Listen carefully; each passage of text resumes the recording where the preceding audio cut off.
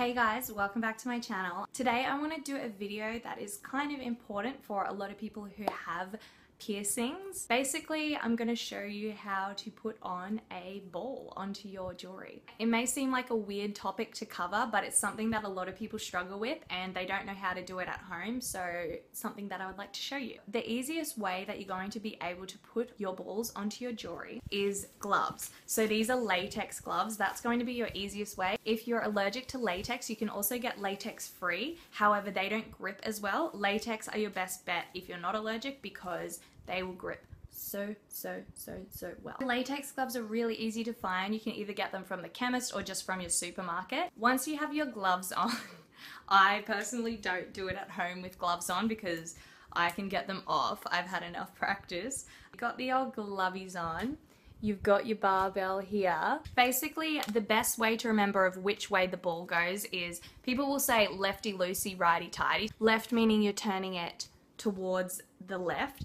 I think a better way to remember is to think going anti-clockwise to undo the ball.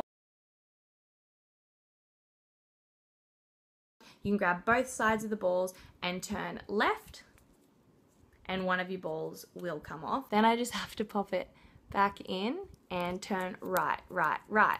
So if we're looking at it, we're going left, left, left, and then turning the right, right, right. Pretty much the easiest way to do it is to get your gloves, grab one side and twist to your left. All you have to remember is lefty loosey, righty tighty. Going left will take the ball off and going right will tighten the ball or put it back on. Just when I was editing this, I just realized something that probably would have been really helpful. You can also use hemostats, which pretty much are just clamp forceps that just clip together and they hold it tight so pretty much the bar can't move so you can spin the ball off. You can get them off eBay, AliExpress, that sort of thing. Something that I find really helpful when I'm getting a ball off is I'll hold the bar and I'll squeeze the ball and put a bit of pressure on it so that sort of just helps it to come undone a lot easier.